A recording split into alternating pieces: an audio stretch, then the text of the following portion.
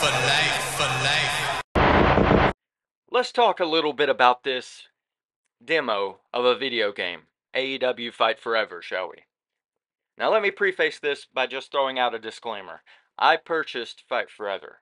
I actually pre ordered Fight Forever on Xbox Series S. I bought the Elite Edition with the Matt Hardy pre order bonus and the what ended up being a joke Season 1 pass.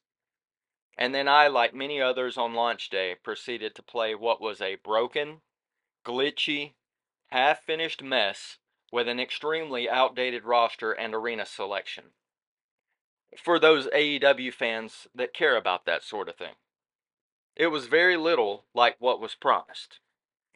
No, what we were told we would get as wrestling game fans for the years heading into release was that we would get the game we've been waiting decades for.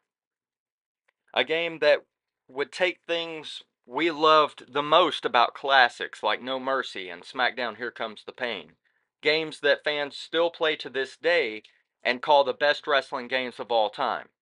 Take those things and improve upon them. People like Kenny Omega and Tony Khan told us that the good old days were back again and AEW Fight Forever was going to be so good it would bring hundreds of thousands of new eyeballs into professional wrestling again as a result of how good it was, just like those legendary games of years gone by that I mentioned earlier did. Easy to pick up but hard to master arcade style wrestling that stayed true to the sport, cross platform expansive, and community focused, online play, continuous support for years to come with an ever changing battle pass system, a great creator wrestler mode and career mode, plenty of match types, and we got none of it. Instead, what we received is a bug ridden, broken gameplay experience with collision detection issues, short, unfulfilling entrances and matches, stupid AI, online that was dead on arrival, radio silence from the devs, publishers, and AEW,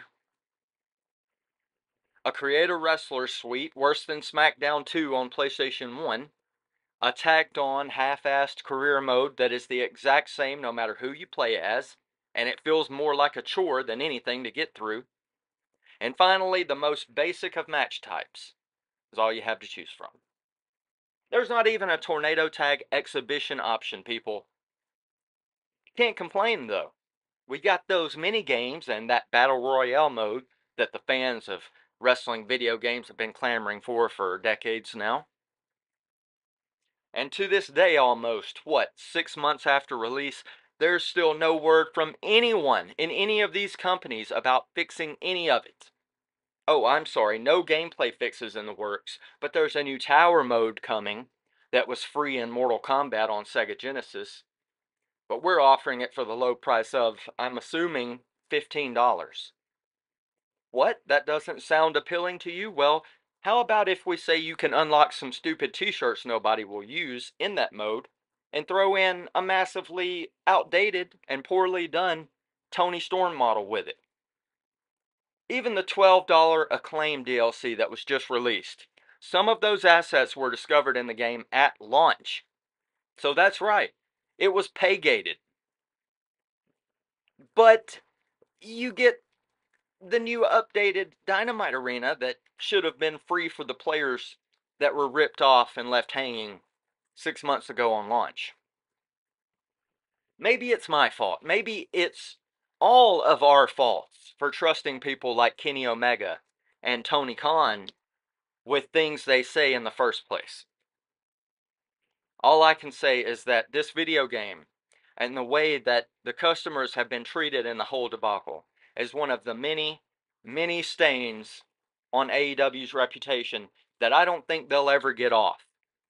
AEW or any other company ran by Tony Khan in the future will never get a dime of my money again. And they shouldn't yours either. At least not until this mess is fixed. A clear message has to be sent to not only Tony Khan and AEW, but Yuke's THQ Nordic, and the entire video game industry. These kinds of business practices aren't ethical and they aren't accepted.